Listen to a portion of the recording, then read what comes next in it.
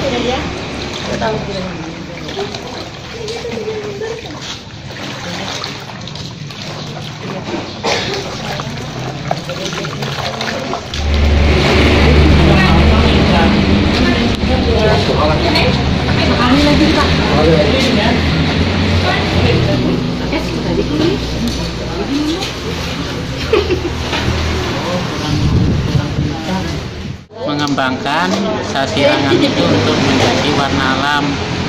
Dan kebetulan di Barabe baru pertama kali ini. Kalau Untuk warna dari bahan alam. sendiri itu kan kurang populer ya Bu ya.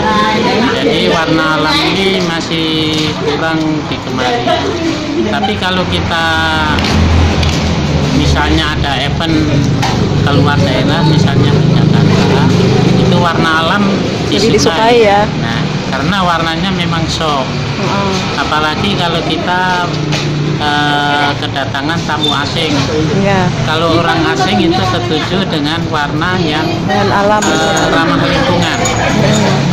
Karena warna alam sendiri Ya. nggak berbahaya